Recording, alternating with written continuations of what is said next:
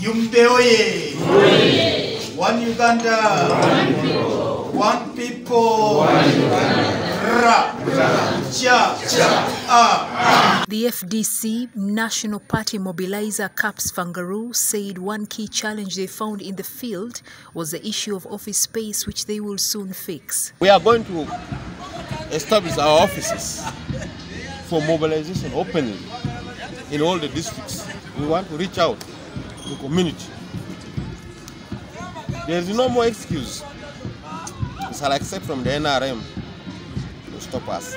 The party president Patrick Amuriat Oboi explains why they decided to decentralize their meetings. This task is for us to meet our leaders, those who contested at all levels, whether they succeeded or didn't succeed, and we are now able to meet them in their numbers. It is a soul-searching meeting intended to do evaluation and analysis of the 2021 elections, how it went, uh, the positive and the negative, the success and the challenges, strengths and weaknesses.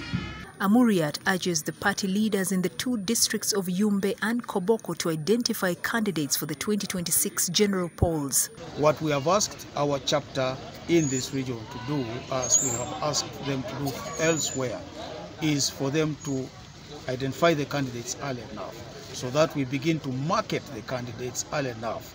In the case of uh, people like Bruce Musema and the other candidates, um, my brother Oka, Rasu, they came in a little bit late.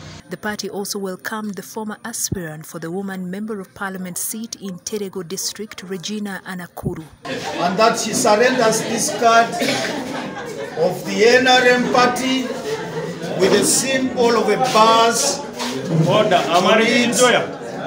to the FDC. Amarekiti Joya jamaa. FDC! FDC! Anakuroi! Report by Adam Gule for the news. Anakuru!